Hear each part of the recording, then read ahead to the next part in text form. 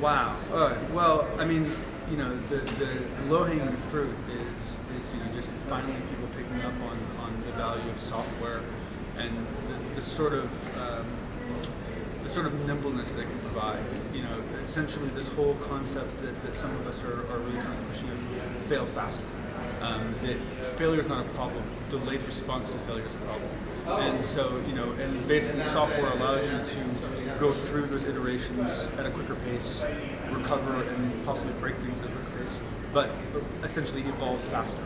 And so that's the whole concept is once you are, once you remove your fear of failure, you can essentially evolve very quickly by essentially really pushing that little